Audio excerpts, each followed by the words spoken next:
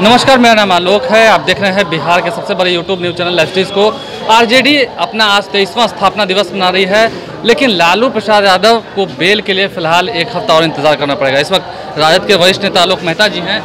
Sir, अगर आज लालू प्रसाद यादव को बेल मिलती तो अच्छी बात थी, लेकिन अभी एक हफ़्ता और इंतज़ार करना पड़ेगा। अच्छी बात थी और नहीं हुई तो मतलब एक्सटेंड हुआ एक सप्ताह समय मिला हमें कोर्ट पर पूरा भरोसा है और हमें इंतज़ार है कि कोर्ट न्याय करेगा। स्थापना दिवस है कितनी तैयारियाँ हैं कितनी उत्सुकता है कार्यकर्ताओं में?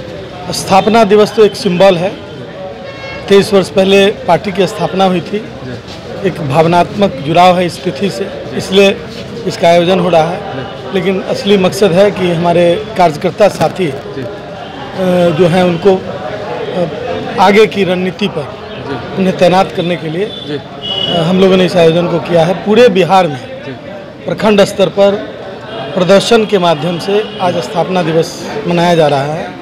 पटना जिला का स्थापना दिवस मतलब जो जोश और उमंग आप भरना चाहते थे हालाँकि लोकसभा चुनाव में हार हुई है फिर भी क्या लगता है वो जोश और उमंग अभी भी कार्यकर्ताओं में वैसा ही है जैसा पहले था? राष्ट्रीय जनता दल के कार्यकर्ता चट्टानी एकता के साथ एकजुट हैं और आने वाले दिनों की चुनौती को स्वीकार करने के लिए तैयार हैं। जोश माननीय लालू प्रसाद जी की प्रेरणा से फिर से आम जनता के बीच जाएँगे और कार्यकर्ताओं में तो जोश है ही, होश के साथ जोश आम जनता में भी बनाने की कोशिश होगी और आम जनता में कोशिश बनाने की बात कर रहे हैं आप, लेकिन कई सारी जो विपत्तियाँ बिहार पर आई हैं, उसके लिए राजद ने भी अपना प्रतिनिधिमंडल भेजा था मुजफ्फरपुर की बात कर रहे हैं कि आने वाले समय में आप जो लोगों को बताएँगे, इस बारे में सूचना देंगे।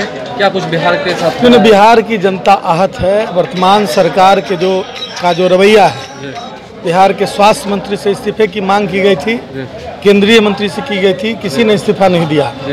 जनता के बीच मोरल मैसेज देने की कोशिश बार बार प्रचार माध्यमों से ये लोग करते हैं और जनता के बीच अपना एक परसेप्शन बनाने की कोशिश करते हैं। लेकिन यह उनका दूसरा चेहरा है कि सैकड़ों की संख्या में बच्चों की मौत हुई संवेदनहीनता की हद वो हुई कि बिहार के स्वास्थ्य मंत्री वहाँ देखने तक नहीं मतलब अब जो ये डबल फेस है सरकार का ये आप अपने कार्यकर्ताओं को बताएँगे? बिल्कुल जो कार्यकर्ता जानते हैं कार्यकर्ता उस संघर्ष में शामिल हैं। रघुवंश बाबू के नेतृत्व में मुजफ्फरपुर और आसपास के इलाके में कार्यकर्ता लगातार आंदोलनरत रहे। हैं और सब इन बातों को जानते हैं।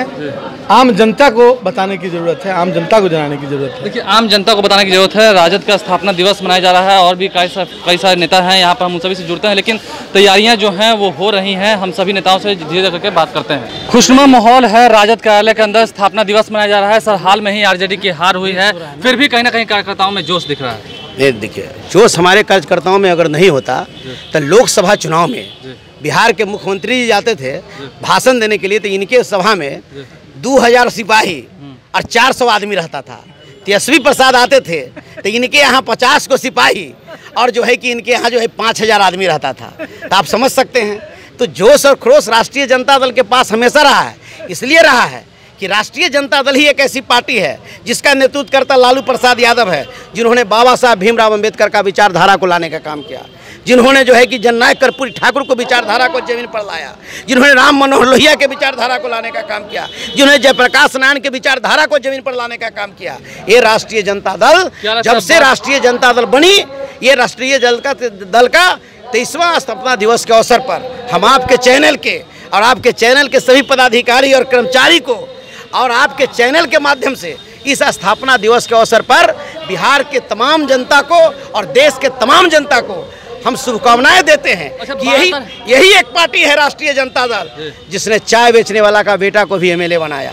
यही है राष्ट्रीय जनता दल ऐसी पार्टी है जिसने जूता सीने वाला का बेटा को भी विधायक बनाने का काम किया। बेचने वाले को ये ये ये यही राष्ट्रीय जनता दल पार्टी है जिसको तारी उतारने वाला का बेटा को भी जो। है कि एमएलए बनाने का काम किया। यही राष्ट्रीय जनता दल है जो पाट पर धोबी का काम करने वाला उसका बेटा को भी यह मंत्री बनाने का काम किया। बेचने वाला प्रधानमंत्री बना तो उसका विरोध कर रहे हैं चाय बेचने वाला प्रधानमंत्री अगर होता ना तो जीएसटी नहीं लगाता। चाय बनिया का बेटा बेचता है चाहे कोई जात का हो वो बैस का काम करता है। जीएसटी लगा करके अगर बैस का बेटा होता चाय बेचने का वाला का बेटा अगर प्रधानमंत्री अगर होता तो जीएसटी लगाकर वह जो है लोगों को कमर तोड़ने का काम मतलब नहीं चाय नहीं बेचते थे? एकदम नहीं बेचते थे। ये झूठ मूठ के है। ये जिस राज में जाते हैं उसी राज में भाषा जैसा जैसन देखते हैं जैसन देख देखते हैं वैसे जै जिधर जाते हैं उधर जिस तरह का देखते हैं वो अपना बात करते हैं।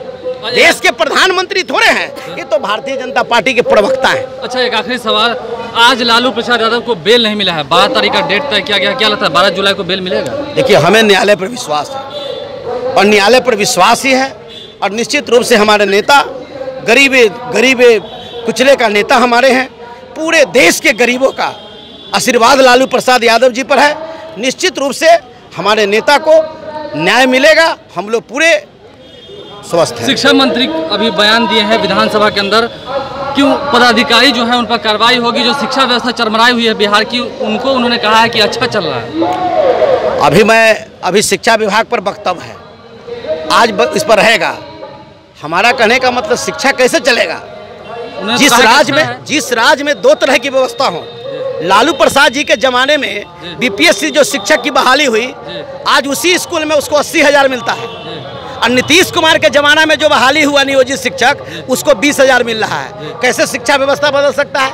एक तरह के काम करने वाला दो तरह का वेतन। कैसे आप चाहते हैं गुरुमता आप टीवी सीरियल चला रहे हैं आप ही ऐसा काम करने वाला किसी को पचास हज़ार और आपको दस हज़ार। आप कितना मेहनत करिएगा आप समझ सकते हैं। तो इसके लिए दोषी बिहार के मुख्यमंत्री अगर शिक्षा चरमराई हुई है तो इसके लिए दोषी बिहार के शिक्षा मंत्री हैं और बिहार के मुख्यमंत्री तो विधानसभा में नहीं छोड़िएगा? एकदम विधानसभा में आज ही वक्तव्य हमारा है। हम इस पर बोलेंगे एक एक चीज़ पर बात करेंगे। चाहे वह कस्तूरबा विद्यालय का मामला हो चाहे जिसका मामला हो एक एक मैटर पर हमारा बात होगी आज। चलिए विधानसभा तक आवाज़ पहुंचेगी। हालाँकि यहाँ जो मौसम है वो खुशनुमा है राजद कार्यालय के अंदर, फिर भी गर्मा गर्मी है। 12 जुलाई को लालू प्रसाद को बेल मिलता है नहीं, खैर तो दूर की बात है, आपने सुन लिया, क्या कुछ कर नेता। लाइव स्ट्रीम देखते रहे, हमारे चैनल को सब्सक्राइब करें साथ साथ फेसबुक पेज भी लाइक करें, ताकि हर छोटी बड़ी खबरों के साथ हम आपको रूबरू करा सकें। धन्यवाद।